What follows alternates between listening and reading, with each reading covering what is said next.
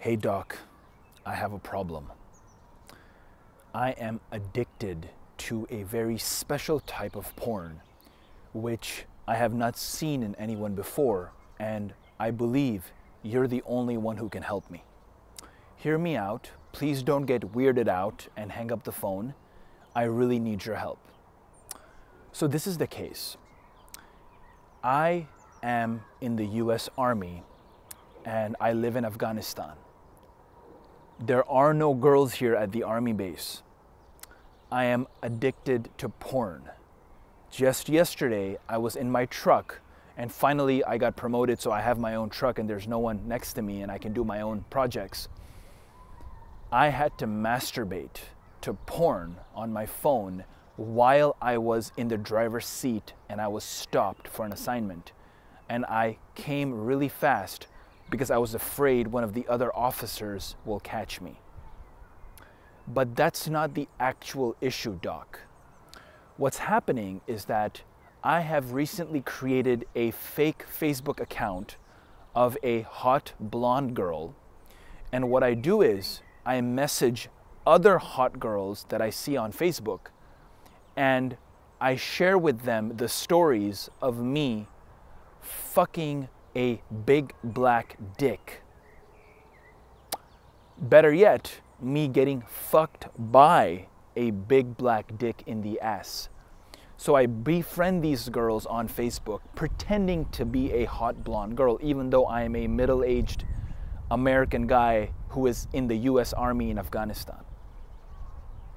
And I do that because I am addicted to the Facebook messages that I get from those girls who tell me how amazing it is to get fucked in the ass by big black boners.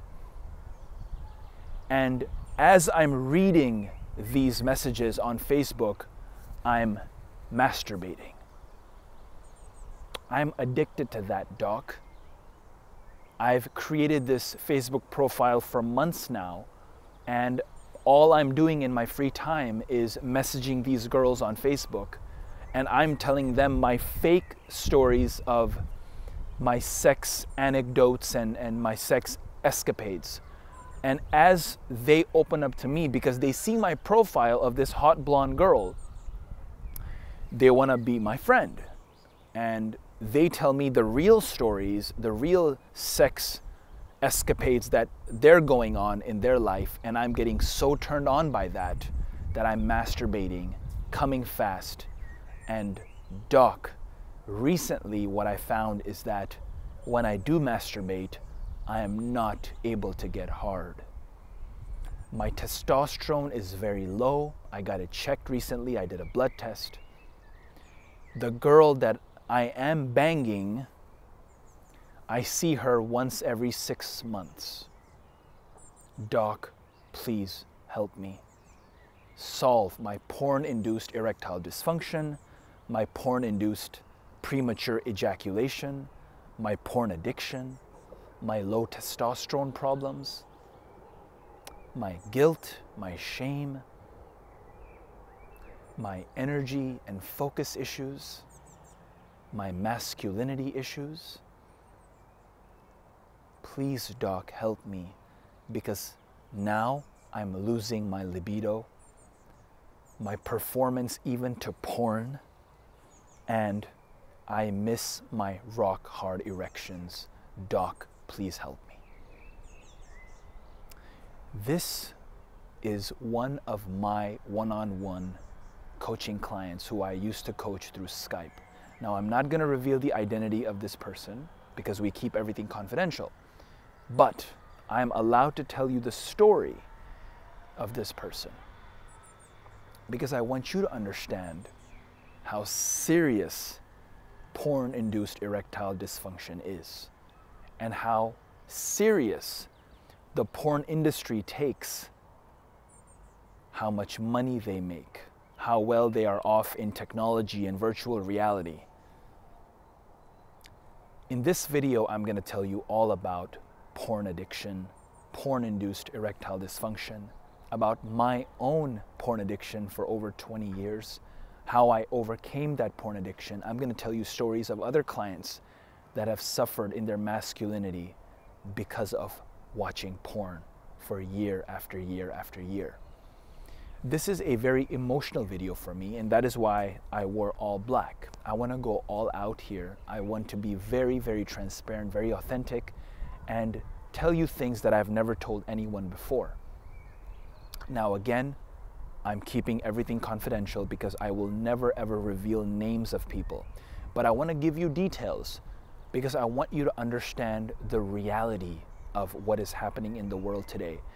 The reality of how the porn industry, other industries like the food industry, the pharmaceutical industry, are destroying the masculinity of men in the world today. And we're going to take our masculinity back. We're going to get the hard fucking rock erections that we deserve.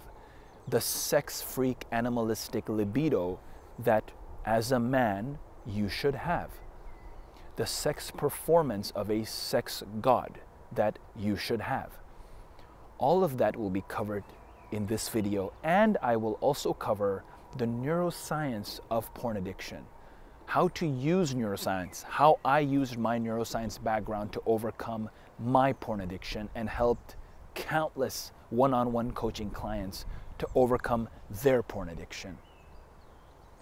So, before I reveal the first truth of today. There will be several truths that I'm going to reveal. Before I reveal the first one, I just want to tell you uh, in yesterday's video, I talked about my cum shots in the first part of the video.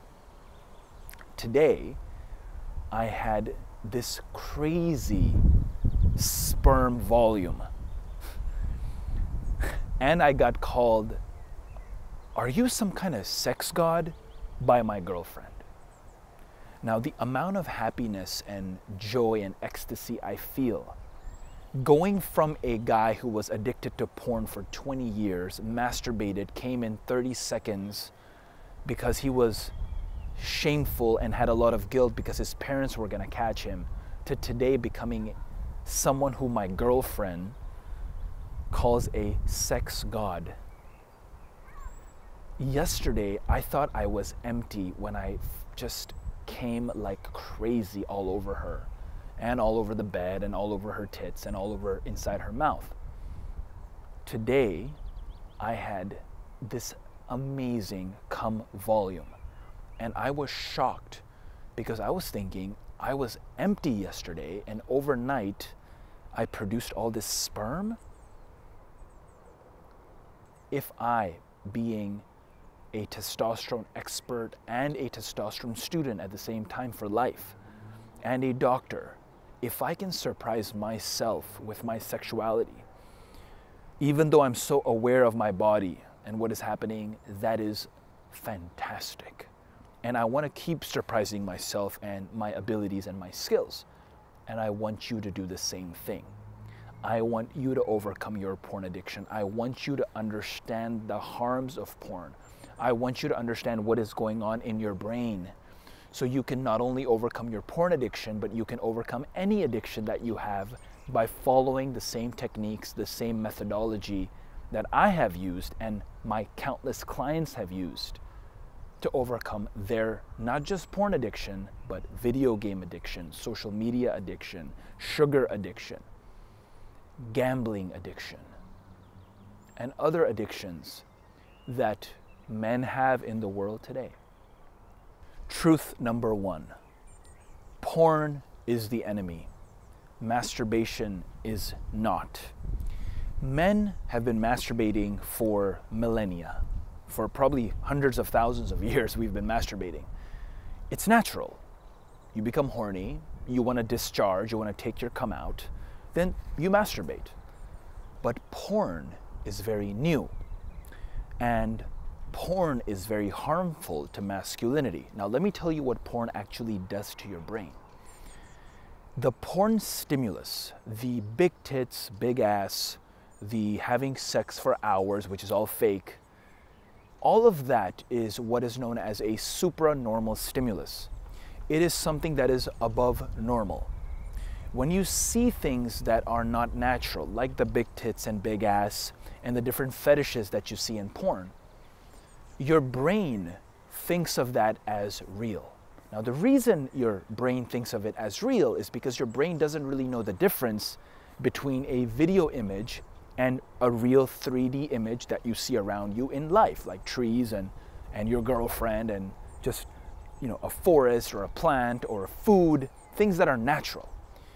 Your brain doesn't really know the difference. Now, the other interesting thing that we found out, again, by we, I mean neuroscientists, my colleagues, and other people in the world who study the brain, when we found out about mirror neurons, we had an earth shattering, this revolutionized neuroscience. Now, what are mirror neurons? So, I'm going to tell you about mirror neurons and I'm going to tell you how they relate to porn and why you're addicted to porn. Mirror neurons were discovered by this lab in Italy. And what happened is they were recording from a monkey. So, you know, a monkey had an electrode in his brain, and that's what I used to do when I was doing my PhD.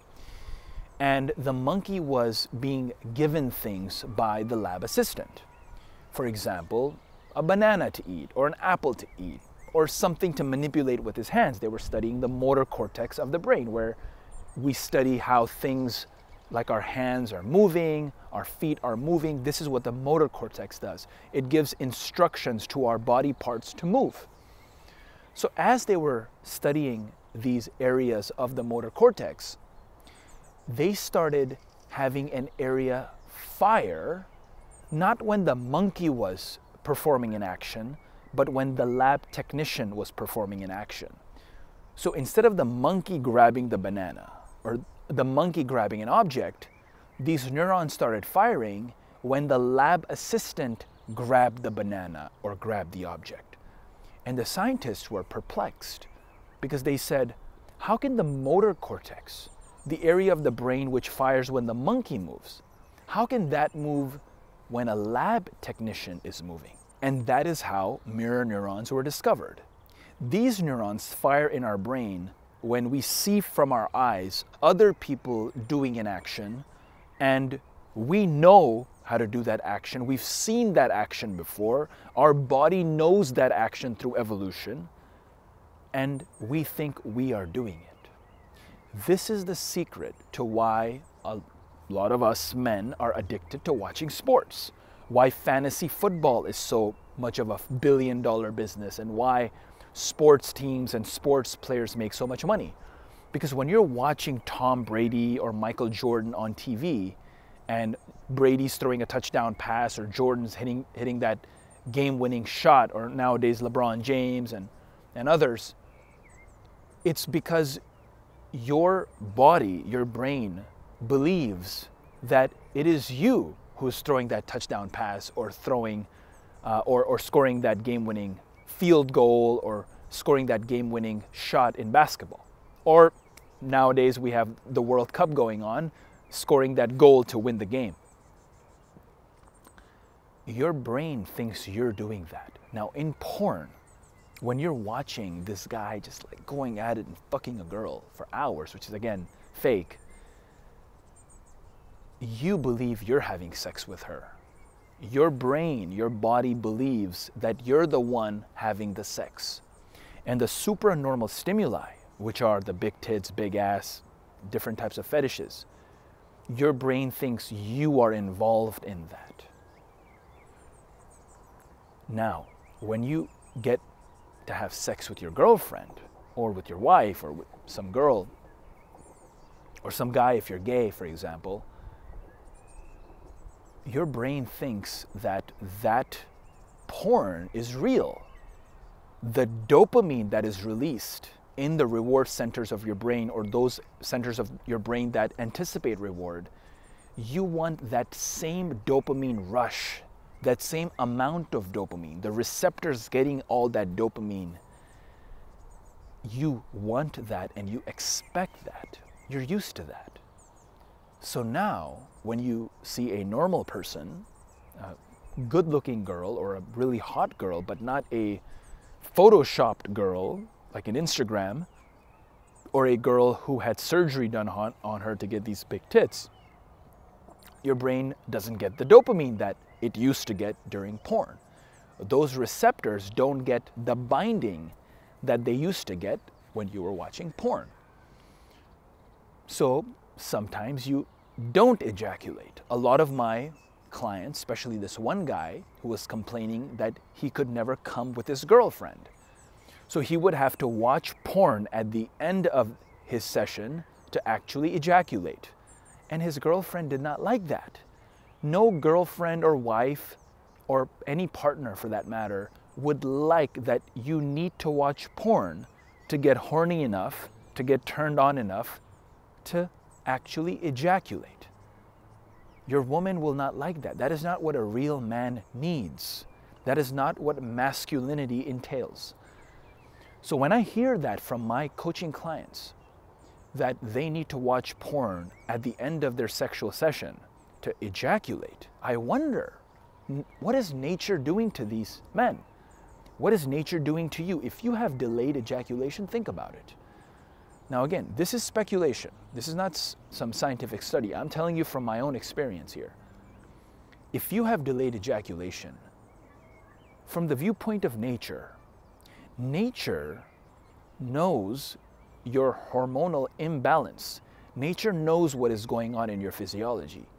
Nature doesn't want you to become a father. Nature doesn't want you to have a kid because you don't deserve it. Think about it. Nature is holding your ejaculation because it doesn't want you to impregnate a woman. It doesn't want your genes to get passed on. So you can't come when naturally you should. Same thing with premature ejaculation. Nature doesn't want you to impregnate a girl because as you're fucking her, before you actually penetrate, you come. So you're never going to be able to enter a pussy. Because remember, pussies aren't just open. Like you have to fuck it. Like you have to go inside that thing, right? Like you have to make that pussy wet. You might have to finger her. You might have to go fucking at it and eat out her pussy. And now it becomes wet. So if you become exhausted before penetration, your dick will never be hard. What used to happen to me is I would lick the hell out of a girl and she would love my oral sex. Then I would finger her a bit to get a feel of the pussy, and I would get so exhausted, my energy would be so drowned that when I started the penetration, I would go limp and I could not go inside her. And sometimes I would just ejaculate soft. Nature doesn't, did not Nature did not want me to have a kid at that point because I was not a real man. Now, I'm not saying premature ejaculation is a disease. Not at all. Actually, premature ejaculation is not a disease. You can get a woman aroused and get her multiple orgasms without putting your dick inside her. You could do that from a hundred different ways. And if you want me to, post in the Facebook group and I'll make an entire truth about how to do that. But if you already know how to do that, then I don't need to educate you. But porn will kill you. It'll kill your masculinity. Because if you don't have your masculinity, what the fuck do you have? When I was living in Vegas, we would have these adult porn conferences where all the porn companies like Pornhub and Brazzers and uh, Large Porn Tube and all, I know all those guys, by the way. They would come and show us these virtual reality rooms that they've programmed. You can put a helmet on your head and you could, it would be like you're fucking some girl inside a bar and it would feel so real. The porn industry is at the forefront, at the beginning of those gates of technology because they have a lot of money. Hundreds of billions of dollars are made by the porn industry. So, all that money is being spent getting you addicted to porn. And you're giving in. You're giving up. You're becoming less of a man. You're becoming emasculated. If you want to reverse all this, then keep paying attention to this video and I'm going to get into how exactly to overcome your porn addiction. Now, one thing I mentioned earlier is porn addiction versus masturbation. Masturbation is totally fine. If you're masturbating to your girlfriend, imagining your girlfriend, imagining a girl you saw that day that you didn't talk to or that you didn't fuck, or you're imagining your wife, you're on vacation and you can't see your wife, you FaceTime with her and you're masturbating to her. When I was in New York City, uh, you know, just a couple of weeks ago before I came to Stockholm, I was masturbating to Melanie all the time, sometimes in front of her. That's healthy because that's your girl. There is no supranormal stimuli. Even though I think her beauty is very supranormal. But physically, it's not an unnatural stimuli that you're looking at. So keep that difference in mind all the time.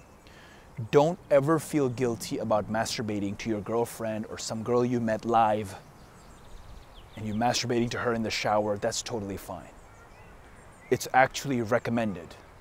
But again, go get the girlfriend so you can physically have sex with her instead of just imagining her in your head. All right? Now, let me tell you another interesting thing that you may not know about the science and what's happening in the brain. The reason men back in the day, in the 40s and 50s and 60s, weren't having porn induced erectile dysfunction is because they were masturbating to magazines. They were masturbating to things they saw just in a book, or our ancestors masturbating to cave images and hieroglyphic images in the Greek times and the Syrian times and way back in the day in the Hindu times. All of that was not with a frame rate that is so high that we see today. What do I mean by that? When you watch a video, the frame rate or the amount of velocity or the speed at which these frames are being shown to you in a, in a movie, the refresh rate of, your, of the movie that you're watching, the fact that you can see 60 frames in a second, the fact that you can see so many things and your brain is processing so many images all at once, so many pictures all at once, which is what you call a movie. Because of the way your brain is seeing that, the stimulus is so strong that your brain interprets that very different from interpreting an image in a book or in a Playboy magazine. So back in the day in the 30s and 40s when guys were masturbating to Playboy magazines, there was no erectile dysfunction because the things they saw in their girlfriend, you know, the Playboy girl might have big tits, big ass. And again, the surgeries weren't as crazy as they are today. They were you know, just a little bit above average. Now it's pretty nuts. And with the movies, the porn movies that you're watching, and even the Instagram small movies that you're watching, and the Instagram images that you're watching, that's very, very different. It's photoshopped. Those guys that fuck those girls for hours in porn, it's not real. It's like eight, nine different scenes into one that you think is one sex session, and it's not. These guys are injecting stuff into their dicks so they can remain hard. They've ruined their lives. Do not give in to that. Do not play into that. It's all a fake mirage that they've created for you. All right? Now, now I've mentioned that porn-induced erectile dysfunction is real. A lot of the guys that have messaged me, a lot of the guys in the Facebook group that we have, the Testosterone Truth group, a lot of guys that I get DMs from on Instagram, a lot of emails that I've received, my one on one coaching clients, a lot of them, their main issue is porn addiction. That's why this video is so long. I want to cover everything here. Now, I mentioned my army friend who lived in Afghanistan and belonged to the US Army, who I was doing coaching with. The way I helped him overcome his porn addiction, his specific Facebook message porn addiction, which was the first time I'd ever heard of that I had him replace the bad habit of porn with good habits. When he did his test results and he got his vitamin D back and saw that it was deficient, very, very low vitamin D levels, very low zinc levels, very, very low testosterone. And this guy didn't look skinny. He was jacked, like he was very fit guy. That's what was interesting. Like it's an army guy, army official, looks good, but is addicted to porn and his masculinity is just horseshit. The way I helped him overcome his porn addiction is by replacing that bad habit with things like working out really hard, meditation. He got into investing in the stock market. He got into doing angel investing, got into forex trading, and I helped him get into all of that stuff because I wanted him to get his brain circuitry that is wired for addiction. All of us are. I wanted him to get addicted to working out. I wanted him to get addicted to understanding the stock market, studying foreign exchange trading, understanding what is happening with tech companies so he can become a smart angel investor. So I got him addicted to all of that good stuff. And that is how he overcame his porn addiction. So for you, remember, this is how it works. This is the Power of Habit book that if you haven't read by Charles Duhigg. This is what the neuroscience research shows. A habit consists of three parts. The cue or the trigger, the routine or the action, and the reward or what you are getting in terms of your dopamine spike. For him, the trigger was opening up Facebook. The routine was masturbating to those Facebook messages. And the reward was that last bit of fun, the orgasm, the ejaculation, the coming. Now, what happened? The coming, the orgasm, is just brain circuitry. It's just a, something that happens in your brain, in the reward centers of your brain, the arousal centers of your brain. And you get an orgasm. The cue or the trigger is the Facebook, the actual icon of the F that he saw on his computer. So, guess what? Whenever he saw that Facebook icon, he did the activities that I prescribed for him, like going to work out, doing his foreign exchange trading. Now, I could not tell him to go pick up girls because he's at an army base, so we had to do with what we had. And that orgasmic feel that he got from ejaculation and what he was doing on Facebook, he got that through the activities that he did. He got that orgasmic feeling whenever he got the dopamine spike from an amazing stock exchange, an amazing trade, or an amazing company that he invested in that made a billion dollars. That's what I want you to understand. You have to replace your bad habit of porn with good habits that will do amazing for you. Listen, man, if you're struggling with porn addiction, you're not alone. I've gone through it and I am a crazy hard case. I started when I was 12 years old. I did not have a girlfriend until now. I'm having the best sex of my life. I'm amazing now. Because of my high testosterone, because I can get rock hard boners, because I can last long, because I can control my breathing, because now I am what a man should be you might think of me, or a lot of men might think of me as some crazy masculine sex freak wizard, but I'm just a normal guy. I'm like you, and you can be like me. But you have to take those steps. And let me tell you another thing, man. Get that girlfriend, man. Get that girl to have sex with every day, to have love with every day. It's so much better than porn. A fucking trillion times better. A gazillion times better. I beg you. Get a girl. and now you're gonna say, how? I don't know how to approach and all. One of my other coaching clients, he had this issue. He was addicted to porn. And he felt very ashamed, a lot of guilt approaching girls. So during our Skype call, I had him go to the mall and he approached 30 girls within one hour, and I was on the phone with him. And then I was his personal wingman on the phone, and when he would talk to the girl, he would introduce me, and I would talk to the girl, tell her about this guy who's wonderful. He's an amazing dude, he's a personal trainer, works at a gym, a really good gym, and he does a lot of different types of martial arts. He's a really, really great dude. But he was addicted to porn.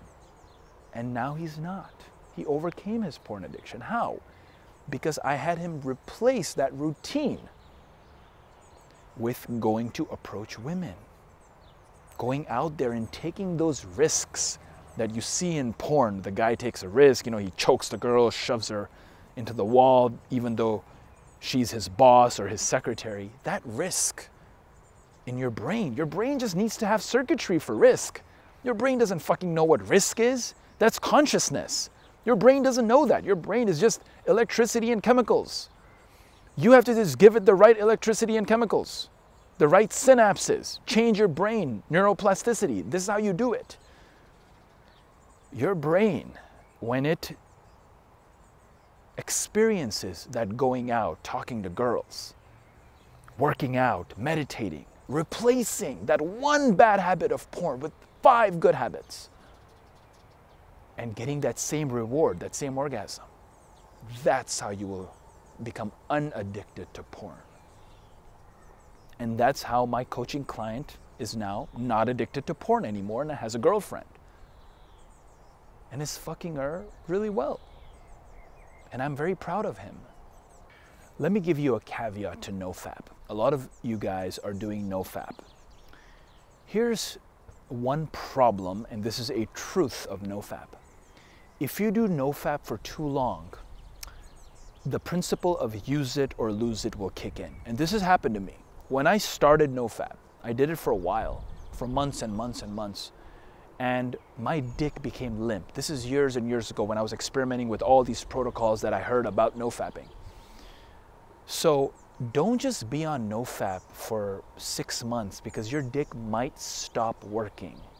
There are muscles in your pelvic floor known as PC muscles. And there are other muscles there too.